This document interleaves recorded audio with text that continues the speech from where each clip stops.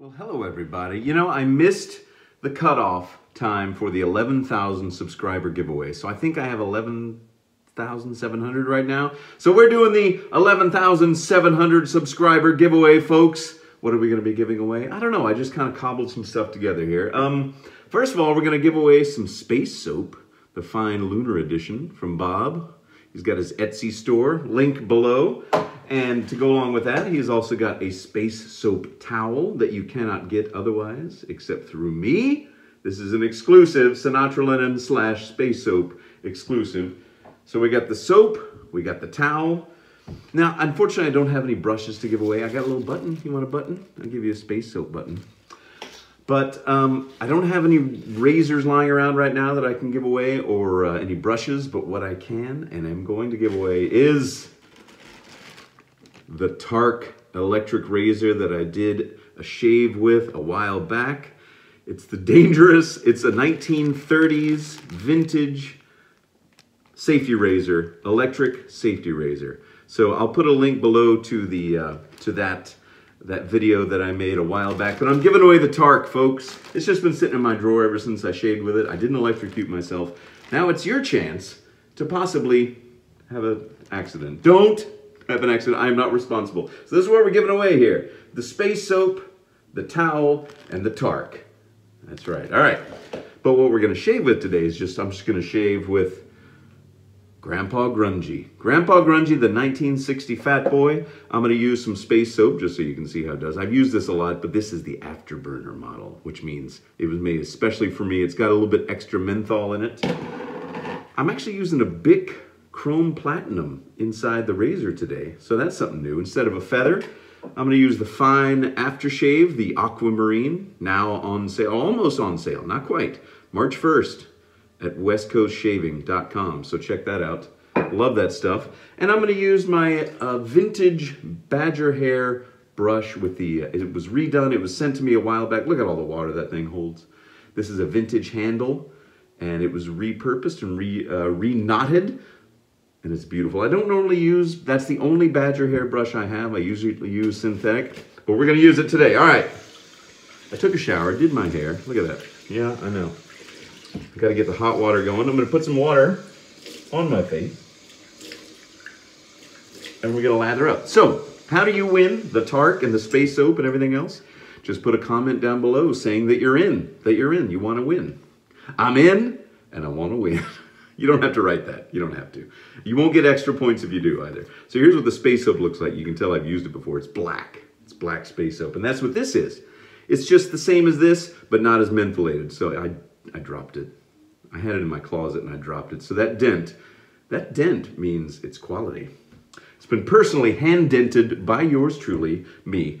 Now, time to lather up with the, uh, I've learned, finally, to use more soap.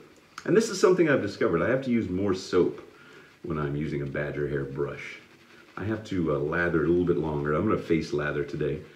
And uh, don't be afraid to load it up because these, these pucks of soap last, last a good long while. So don't be stingy with your soap. You could really work this up into a nice lather in a bowl if you want to do that, but you don't have to. All right. There we go, nice and rich and thick. And any that I have left on my hand, I'm gonna just do like this. Yeah. Ah, peppermint. That's the scent of the space soap, at least this version of the space soap. He sells other, he, uh, Bob sells um, a grapefruit scent one. So that's nice if you like that. All right. So if you're not familiar with that Tark razor, it was made in the 1930s, as I said. It works perfectly. Now you need to use a GFCI outlet when you plugged it in to avoid getting shocked if you decide to use it. Now I wouldn't recommend using it. In fact, I'll say don't use it, okay? Just keep it as a keepsake, as a bit of history, as an interesting curio to talk about, but don't use it. Don't use it. It doesn't really work well and it's not worth the danger of plugging in and you know getting a wet razor and possibly shocking yourself. I lucked out when I did it. So, all right, Grandpa Grungy. Uh, I'm going to dedicate the shave to Kyle Kerr, his dad. So he wanted me to do one with Grandpa Grungy. So Kyle, this is for your dad, buddy. Got a lot of great viewers. Got a lot of great subscribers out there. A lot of you have asked me to do a podcast, and I'm not sure what I would do in a podcast. I love listening to podcasts. I listen to them all the time. By the way, this is my 1960 Fat Boy, in case you forgot. 1960, which I will compare to the brand new Replitech when it comes in this summer. Anyway, so podcast ideas. I was thinking, what would I talk about? Now, I would have to mention shaving, right? But like on my live hangouts, I don't like to necessarily just talk about shaving because this is just one aspect of my life, my interests. I'm fascinated by music, guitars, history. I don't like to talk politics or religion. So there's plenty of people out there you can listen to if you want to get that sort of content. So if I, if if if I ever do a podcast, it'll just be um, maybe I'll have an interview with other wet shavers like Ken Surfs or Kevy Shaves or Paul H. or those guys. Maybe I'll have special guests on. Talk about what they think about, both shaving and non-shaving. But I was thinking of a name, and I was thinking if I do do a podcast, if I do a podcast, I will call it Sinatra Lennon's Close Shave. What do you think of that? It wouldn't only be about shaving, but it would let you know that it's me just in case there's a imposter podcast out there claiming to be me, which I don't see happening. Oh my goodness. All right. Mm, that's good. That's good, man. Somebody said, oh, the fat boy is overrated. And yeah, it probably is. It's probably overrated. But if you get a good one, and this was my response, if you get a good one, it could be great, right? It's kind of like pizza, right? Pizza good pizza is great, and bad pizza is still pretty good. All right, second pass. I'm losing some of the lathers. You know what I'm gonna do? I'm gonna get a little bit more water and we'll go back, hit it up. See, I was I don't know what I was worried about. When I would do this, I just wouldn't put enough. But now I do. Now I put enough. All right, got some on your hand. Oh, the sun, you can tell the seasons are about to change. I'm about to get sunburned in my own bathroom again. Oh, I love the pepperminty and the little bit extra menthol. Oh, if you're interested in Bob's Space Soaps, check out the link below. If you're in the UK and you're looking for shaving supplies, maybe like for a beginner, because I get asked that a lot. What's a good beginner uh, razor? Check out executive-shaving.co.uk. I recently partnered with them. Executive Shaving is based out of Glasgow and they ship to the world, really. So if you're in the UK or Europe, shipping is going to be a little bit more reasonable over there. They sell pert near everything, as we say here in the States. They sell so much stuff. So go check them out and use the offer code Sinatra5. All this, like I said, will be in the links below this video. And to enter the giveaway, the 11,700, to enter the 11.7 giveaway, yeah, I should be in marketing. Uh, I'm not, and I shouldn't be. Uh, just comment below that you want to win. You're in it to win it. Or whatever I said earlier that I said you don't have to actually type and then I'll give it a week and I'll do the next, I'll do the giveaway next Friday. So there'll be plenty of time for everyone to enter. And since I'm creeping up on 12,000 subscribers, well, then we'll have to give another giveaway, right? Hopefully I will have amassed some other things to give away. I, I was contacted by a Chinese company that wants me to review two of their electric razors. And I know I said that I would never do another electric razor uh, review but I've actually had a lot of people ask for an electric razor giveaway. So I figured, what the heck? I can review these electric razors and then just give them away. I don't know if they're any good, but for free, why not, right? So hopefully I'll be getting those sometime soon. And we'll do an electric razor giveaway. Not this kind of an electric razor. This is all its own. The Tark. It's got the box in it. It's got the that old fabric cord, you know, that they used to use back in the day. And some Tark razor blades. So it fits because they are proprietary, which is a problem. I know. All right. Let's do another pass. Let's see if I have enough lather left on this old brush. It's like this old house. This old brush. I've been using this for a while. I don't use it a ton. I love it because of the way it looks. I kind of wish it was a synthetic knot though, you know? And when I say knot, I mean the hair. That's what they call it, you know, because they knot it up at the bottom to put it in there. They knot them at the bottom. What the heck? What, what, what am I, Mr. Slogan today? Ay, ay, ay. Oh, so good. So good. I love peppermint. I love menthol. And this is the great combination of the two. All right.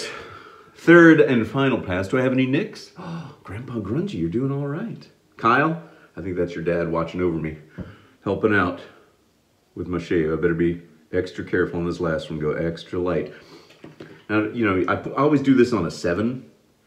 And maybe the Bic blade is, is helping because normally I use feathers in this and I get a lot of nicks. So the Bic Chrome Platinum, which I often uh, suggest as a good beginner's blade, it's good. I keep I get reminded of that every time I use them. So I'm gonna go real light. Some people say, why don't you dial it down? But I don't like to. I've tried that. You know, you start off with a seven, then you go down to a you know five or a two or whatever as you go along. But I kind of like keeping the same one because then I just I can uh,